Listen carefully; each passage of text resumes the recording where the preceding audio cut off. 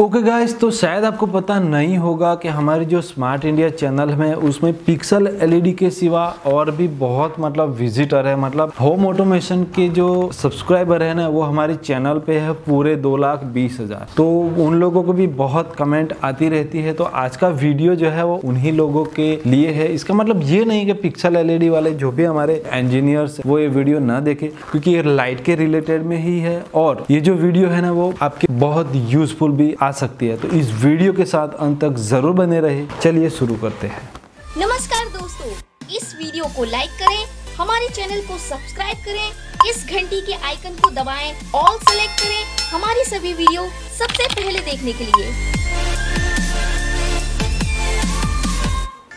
तो guys video शुरू करने से पहले हमारी ऑल फैमिली को हैप्पी रिपब्लिक डे तो दोस्तों, आज का जो वीडियो है ना, वो है हमारी जो स्ट्रीट लाइट होती है घर के अंदर नहीं आउटडोर की बात कर रहा हूँ मैं। आउटडोर में जो भी लाइट्स होती है, वो कभी कभी है ना, बंद करना हम भूल जाते हैं, वो तो आपको पता है, ठीक है? इसके बारे में बहुत वीडियो हमारे चैनल पे अभी अभी मैंने प्लेलिस्ट बनाया है तो आप लोग है ना हमारे चैनल के प्लेलिस्ट में जाके ऑल जो भी हमारे टॉपिक्स है, वो देख सकते हो। तो आउटडोर लाइट कभी कभी हम भूल जाते हैं तो मतलब दस या ग्यारह बजे तक सुबह में शुरू रह जाती है तो मतलब बिजली की मतलब बहुत खपत होती है यार। तो उसीलिए मैंने सोचा कि भाई इसका कुछ जुगाड़ किया जाए। अभी जुगाड़ नहीं प्रोफेशनल ठीक है? जुगाड़ में क्या होता है? जुगाड़ जुगाड़ की तरह ही होता है। ट्रिक तो हम बता देते हैं, लेकिन वो सही से पार्ट वार्ट ये वो वगैरह मतलब कहीं कहाँ रखना वो सब मतलब बहुत मेंटेन करना मुश्किल हो जाता है। तो मैं आज रेडीमेड प्रोडक्ट आपके सामने लेके आने वाला हूँ। वो जो प्रोडक्ट है, वो किसी भी लाइट्स को लाइट ही नहीं, कोई भी चीज़ हो, उसे ऑटोमेटिक बना देगी। ऑटोमेटिक कैसे? जैसे मतलब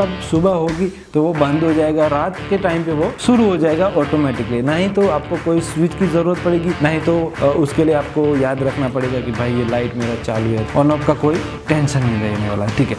तो गाइस ये अभी आप देख रहे हो कि ये जो लाइट है वो अमेजोन पर मैं आपको दिखा रहा हूँ और ये जो लाइट है, इसे फटाफट से हम परचेस कर लेते हैं। तो यहाँ पे जैसे हमने बाय का बटन दबाया, ये रही प्रोडक्ट हमारे हाथ में। तो गाइस ये प्रोडक्ट हमारे हाथ में आ चुके हैं। तो ये जो प्रोडक्ट है उसको फटाफट से हम खोल लेते हैं और अभी आप देखो कुछ इस तरीके की ये प्रोडक्ट दिखती है।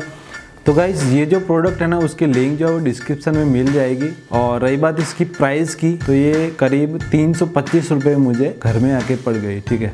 एकदम सिंपल है। जैसे कि मतलब कोई बाइक का कोई कोयल हो इस तरीके का दिखता है बट ये वाटर प्रूफ है, ठीक है? वाटर रेजिस्टेंस है तो कोई टेंशन लेने की ज़रूरत नहीं है। अभी आपको ख्याल कितना रखना है पता है कि जो भी लाइट्स है ना, उसके ऊपर के हिस्से में ये लगानी मतलब लाइट की जो रोशनी है, उसके ऊपर नहीं पड़नी चाहिए, नहीं तो उसका उल्टा इफ़ेक्ट हो जाएगा, वो on off on off cut off होता रहता है, ठीक है? इसलिए मैं आपको एडवांस में बता दे रहा हूँ। और मैं कोई भी वीडियो बनाऊँ तो वो ध्यान से आप देखोगे तो आपको मतलब सवाल ही नहीं होता कि कुछ पता नहीं चला कि ये वो। मैं छोटी छोटी चीज़ें भी दिखा देता हूँ। वीडियो ज़रूर थोड़ा लंबा हो जाता है बट एकदम बारीकी से मैं बताने की कोशिश करता हूँ, ठीक है? अभी वायरिंग की बात हम कर लेते हैं, ठीक है? तो उसके लिए हम वहीं चली जाते हैं, कोई एक लाइट चूज़ कर लेते हैं। मान लो कि ये जो लाइट्स है, ये दिन भर मतलब 10 बजे तक चालू रह जाती है, क्योंकि ये जो दुकान है, वो दुकान जब तक खुलेगी नहीं, वो लाइट की स्विच जो अंदर है तो वो अंदर मतलब बंद कौन करेगा? तो इसीलिए इसी को हम ऑटोमेटिक करने वाले हैं।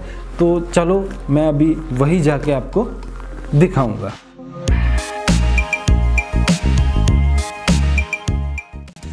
तो गाइस यही लाइट को हमें ऑटोमेटिक करना है, ठीक है? और इसके अंदर कौन सी वायरिंग लगेगी वो सब मैं आपको बताऊँगा। देखो गाइस मैं अभी फटाफट वायरिंग बता दे रहा हूँ। ये दो जो वायर है ना, वो मेन लाइन है। यानी कि जो स्विच ऑन करने के बाद जो करंट आएगा ना 230 वोल्ट ये। और ये हमारा लोड का, यानी कि एलईडी का है। मैं थोड़ा ऊपर करके भी आपको दिखाने की कोशिश करूँगा। वो हमारी एलईडी है, ठीक है? पता नहीं आपको दिख रहा है कि नहीं, लेकिन उधर लगी हुई है तो ये आपको अभी पता चल गया, अभी वायरिंग तो इसमें है ना, तीन वायर दिए हुए हैं। ब्लू वायर को हमारे एक तो एलईडी का एक वायर ज्वाइंट कर दो, और यहाँ से नेगेटिव वायर जो भी नीचे से आ रहा है ना, उधर लगा दो, ठीक है? अभी दूसरा इसमें रेड वायर है स्विच में तो रेड वायर है, वो एलईडी को लगा देना है, ठीक है? और जो भी ब्राउन वायर बचा, वो हमारे जो मेन लाइन है ना पॉजिटिव की, उधर ज्वाइंट कर लेना है। बस, इतना सिंपल वायरिंग है। देखो, देख लो एक बार। ये स्क्रीनशॉट भी ले सकते हो और पॉज करके भी देख सकते हो। रेड वायर डायरेक्ट लोड में जाएगा। ब्राउन वायर है, वो नीचे से 220 वोल्ट का पॉजिटिव है ये। और ये जो ब्लू वायर है, वो नेगेटिव यानी कि झालर में भी चला जाएगा। ठीक है ना? अभी हम इसको टैप कर देंगे अच्छे से। और फिर यहाँ पे माउंट भी करना होगा इधर। इधर माउंट कर देंगे क्योंकि जा वो एलईडी वहाँ है तो मतलब उसको दिखना नहीं चाहिए ना मतलब रात के टाइम में रोशनी इधर नहीं पड़नी चाहिए तो ये जगह ठीक है। तो फटाफट से वहाँ पे माउंट कर लेते हैं।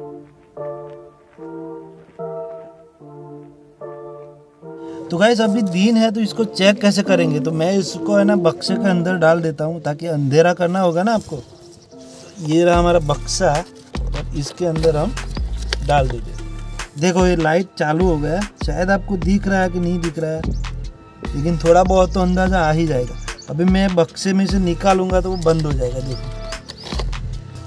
देखा? फिर से अंदर डालते हैं हम लोग। देखो, अभी आपको दिख रहा है, चालू। अभी जैसे ही निकालूँगा इसको,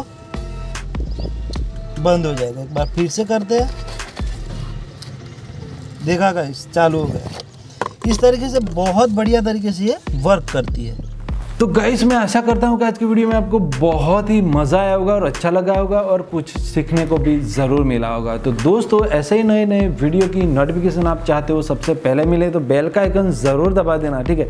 और ज़्यादातर बंदे बेल का आइकन नहीं दबाते तो उनको नोटिफिकेशन नहीं आएगी। तो बेल का आइकन ज़रूर दबाए, बाकी इस वीडियो को लाइक करो, ज़्यादा से ज़्यादा शेयर करो, और अभी मिलते हैं हम ऐसे नए इंटरेस्टिंग वीडियो के साथ, तब तक के लिए नमस्कार।